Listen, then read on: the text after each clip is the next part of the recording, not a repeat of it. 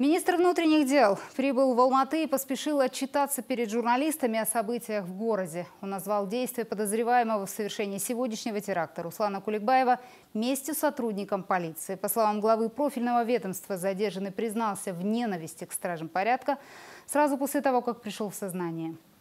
В ходе задержания Руслан Куликбаев получил 4 огнестрельных ранения. Сейчас мужчина находится в больнице, его прооперировали. В данный момент он дает показания в присутствии адвоката.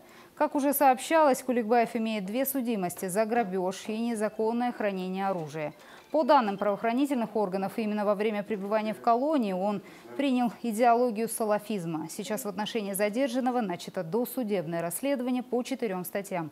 Терроризм, убийство, применение насилия в отношении представителя власти и нападение на здание госорганов. В целом Калмухамбет Касымов отметил, что он доволен работой своих подчиненных.